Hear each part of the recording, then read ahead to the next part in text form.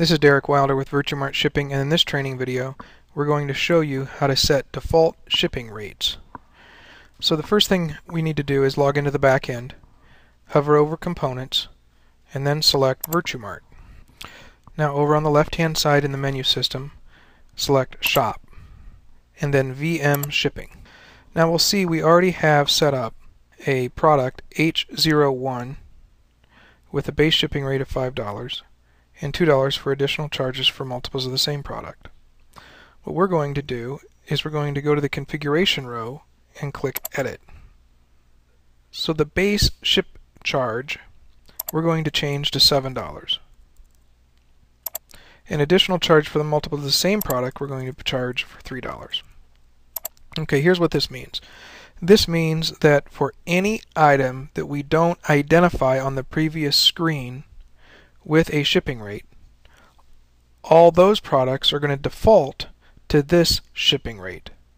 Also, please note that where it says apply multiple quantity ranges, if this is enabled, this default rate will not work. So it's important to make sure that apply multiple quantity ranges is disabled and then click update. Okay, now you'll notice that we have the product H01, which is a nice saw, again set up with $5 base shipping charge and $2 additional charge. But now down under default shipping charges, we have $7 for base shipping charge and $3 for additional charges. Again, these are going to be applied to any products, not a SKU already identified up here. So let's go to the front end and see how this works. The first thing we're going to do is we're going to click Nice Saw.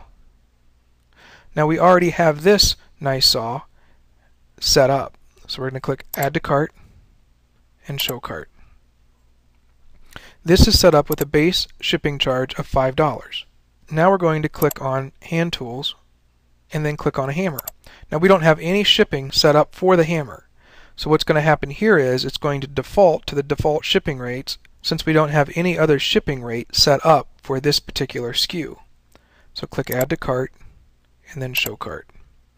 Now notice the total amount of shipping is $12. $5 for the nice saw, and $7 for the hammer. Let's go to the back end very quickly. $5 for the nice saw H01, and $7 for the base shipping charge for a product that's not identified up here under the SKU base shipping rate list. And that's how you set up default shipping rates.